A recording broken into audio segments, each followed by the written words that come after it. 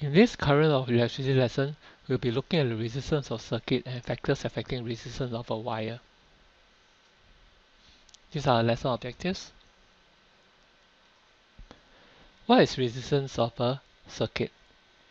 The resistance of a circuit refers to the degree of obstruction to the electrical flow of the circuit.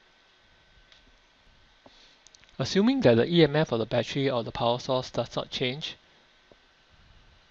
when we close the switch, there's a certain current flow.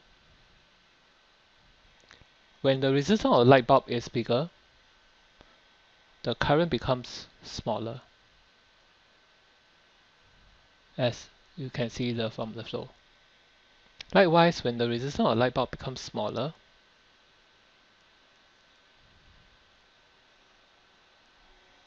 the current becomes bigger as you can see from the flow that's faster now.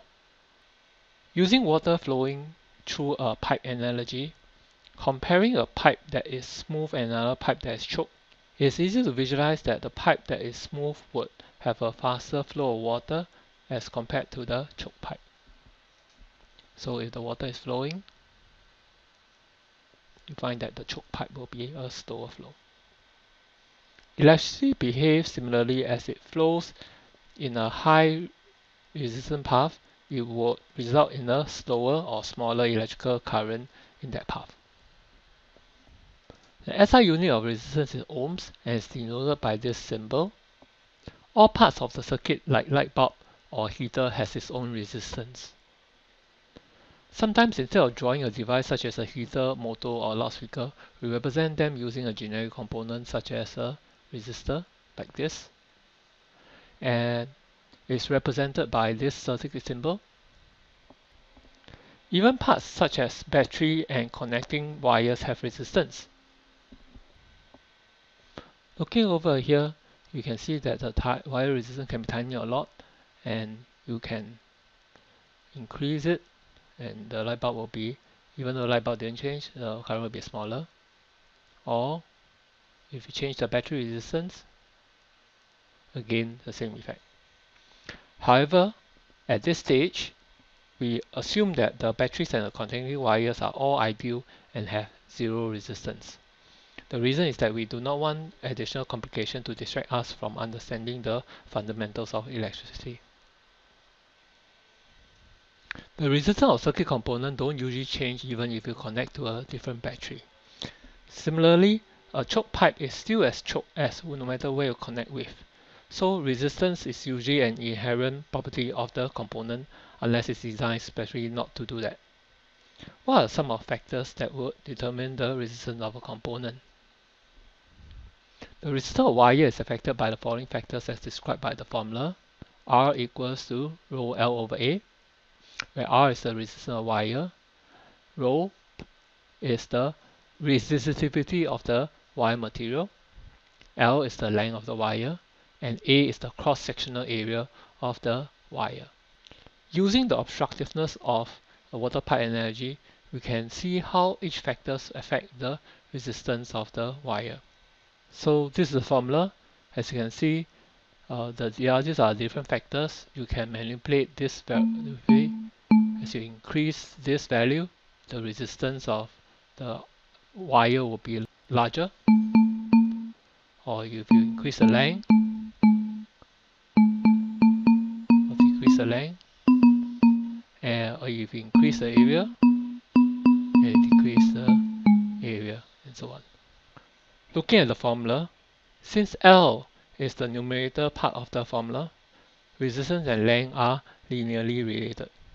The longer the wire, the larger the resistance and vice versa. A simple way to remember this is to imagine a choke pipe. A longer choke pipe means stacking additional pipes uh, behind and they present more obstruction as the to the water flow. Thus, a longer length of wire simply presents more obstruction to the electric flow, current flowing. One practical implication is that though we assume that connecting wires has zero resistance, but if the wires are sufficiently long, they would have significant resistance and would have to be taken into account when we design electrical circuits. For cross-sectional area of wire, if you notice, A is the denominator part of the formula. It means that R and A are is inversely related. So when A is smaller, R becomes bigger. Or when A is bigger, R will become smaller. A common misconception is when A is bigger, bigger, R is also bigger. This stems from the students having thinking that bigger cross-sectional path has more obstructions. However, think of having a larger cross-sectional area pipe means that there are more or wider pathway for the water to flow through. So overall, there is more water flowing through and overall resistance of the combined these three pipes is actually lowered. So you can imagine the opposite too. Comparing a single lane road and a three lane road, which road do you think you expect to have a smoother traffic? Think about it. Thus, you can come to a conclusion that a larger A allows more current to flow through, which means that the wire is of a lower resistance. Resistivity of the wire depends on the material that the wire is made of. For example, though copper and lead are both metal, their resistivity is different as they have different degree of obstruction to of the electrical current. Okay, these are some values. So a copper and a lead wire of can be of same length and same cross-sectional area can have different resistance as the resistivity of the material of the wires are different. The equivalent analogy would be though two pipes have the same length and the same cross-sectional area, the interior of the pipe friction can be different as they are made of different pipe materials.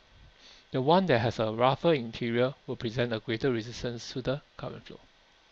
Let's use a simple example. Calculate the resistance or length of copper wire if it has the following properties.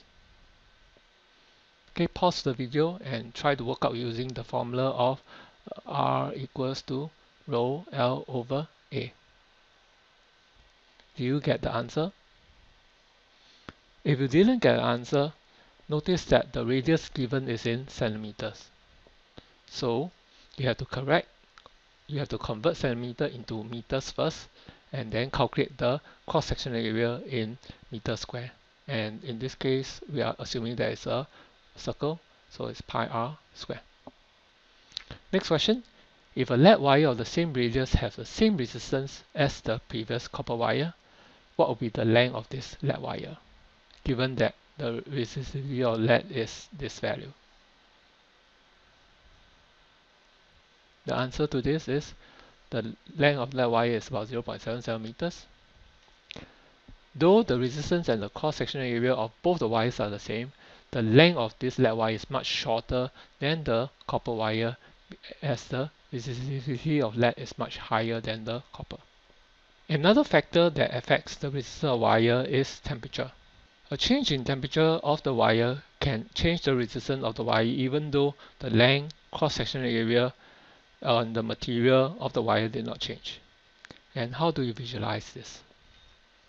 When the temperature of wire is increased, the atoms of the wire vibrate more vigorously. So, and but how would this affect the electrical charges that's trying to move through the wire? So this is a wire that is obviously hot and this wire that is of a lower temperature. Imagine that you're trying to move through a room full of people. Do you think that you it's easier to move through when the people are highly energetic, which is hot, or they are not very active, which is cold? And there you have your answer. Thus, when a wire has a higher temperature, electrical charges find it harder to move through the wire. Thus, the resistance of wire is increased. And the opposite also holds true. When you lower the temperature of the wire, the resistance of the wire also goes down. This is also why one of the conditions for some materials to be superconductors is to lower its temperature below its critical temperature when its resistance suddenly becomes zero. Okay, this is some acknowledgement. That's the end of today's lesson. Please subscribe and support my channel for my other physics video lesson arranged according to topics, please visit my blog at boringphysicsteacherswordpress.com. You can subscribe to my channel to be informed when I upload new physics video lessons. Thank you.